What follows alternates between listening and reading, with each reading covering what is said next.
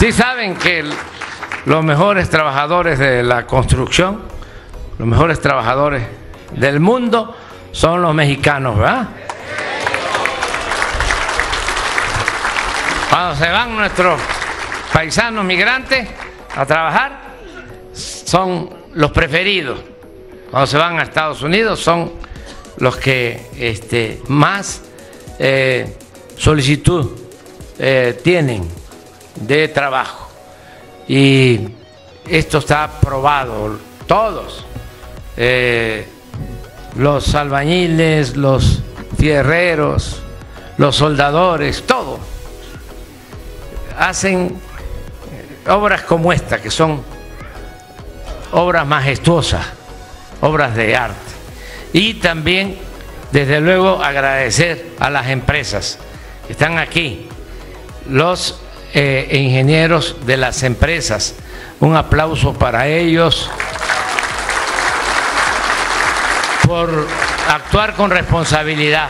Es una transición de gobiernos. En este proceso de transición, la verdad es que cada vez que llego a un lugar es emocionante, emotivo, maravilloso. Los gobiernos se destacan por muchas razones, pero el gobierno del presidente Andrés Manuel López Obrador tiene varias características. El primero es que representa una transformación del país, de la misma magnitud que las otras transformaciones, que la independencia, que la reforma, que la revolución. Solo que ahora es una transformación pacífica, pero no por ello deja de ser una revolución profunda en todo, sobre todo en un gobierno que dejó de mirar a unos cuantos y que se dedica al bien del pueblo de México y de la nación.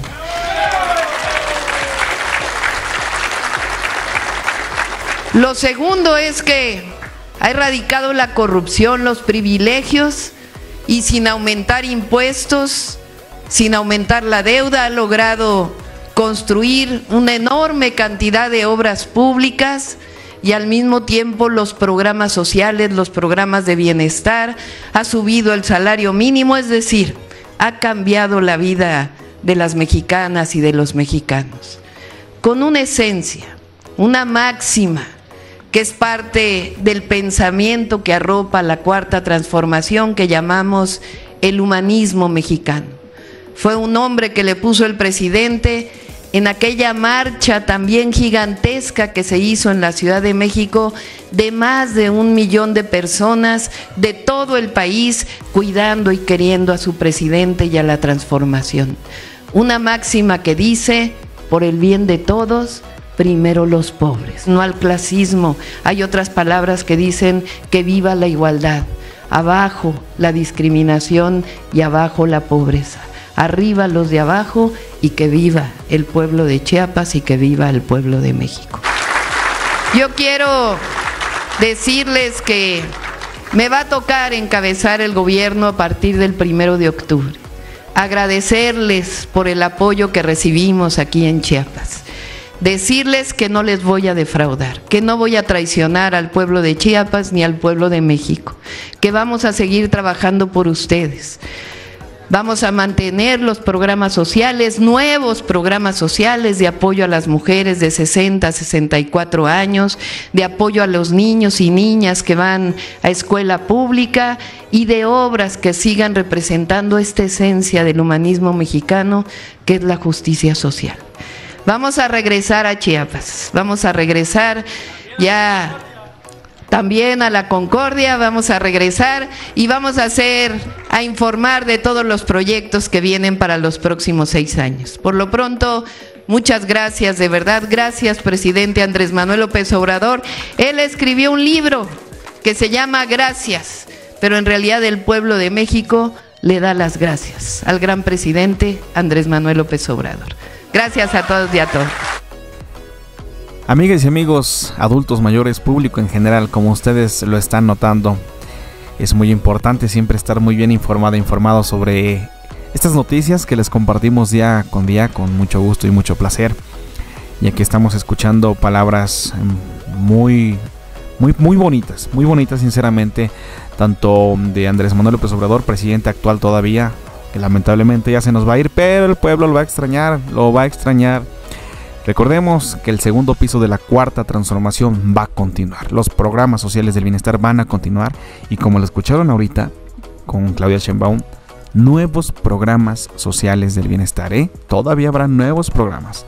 Así que es importante que ustedes presten atención a la siguiente noticia que les voy a compartir porque es muy importante que se informen de manera precisa.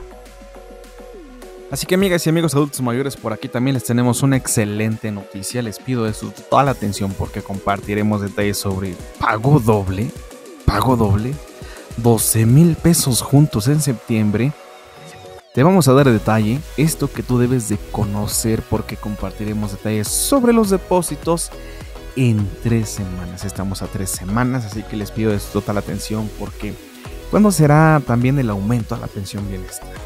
Ariadna Montiel solo ha dicho algunas palabras, no ha informado, no ha destapado tanto, tanto, tanto, pero aquí tenemos excelente información que debes, debes tú de saber, debes de conocer porque en diversos medios de comunicación, redes sociales, Facebook, Twitter, Instagram, principalmente en YouTube, eh, se ha mencionado que en el mes de septiembre habrá adelanto de pagos y pago doble por 12 mil pesos.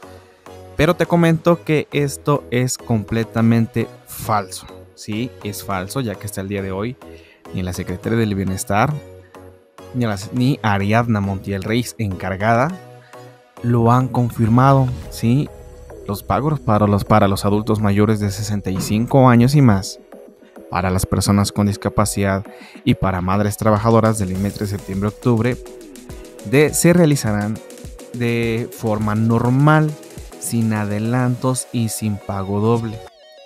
Eh, en este sentido, miren, mm, los montos a liberarse durante el mes de septiembre serán de 6 mil pesos, de 3 mil 100 y 1600 pesos. ¿sí? No incluyen tampoco aumento todavía. El aumento es hasta inicios del año 2024. Ahora también, ¿cuándo es que iniciarían los pagos a los adultos mayores?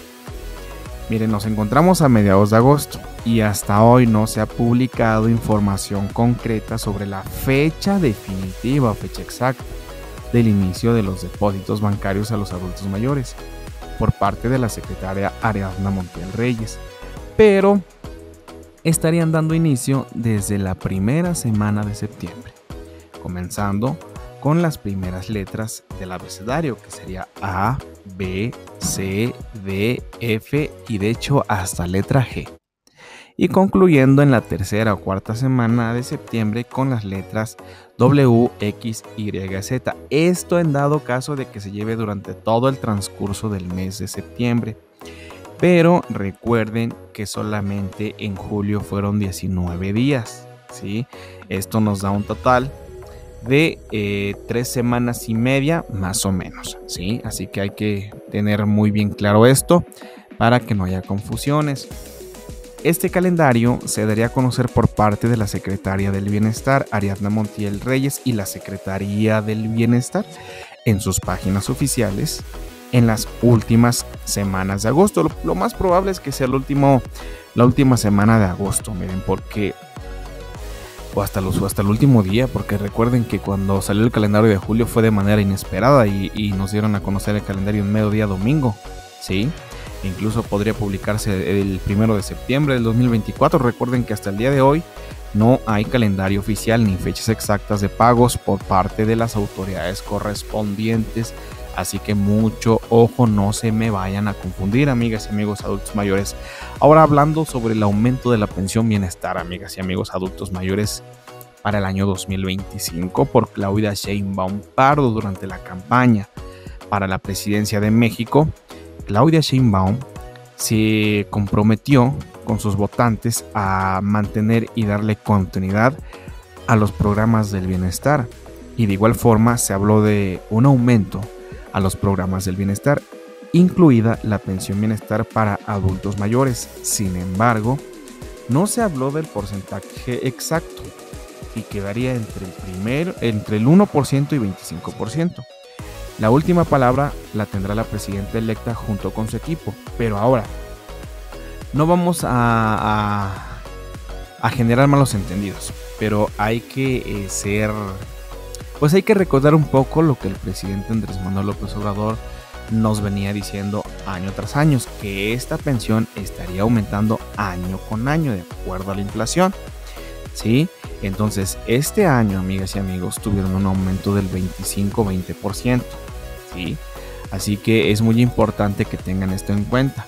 Si llegara a quedar en 25%, que casi, casi estoy seguro que sí, podría ser que los pagos queden en 7.500 pesos para los adultos mayores. Eh, podría decirles que esta es la cantidad en la cual podría cerrar, pero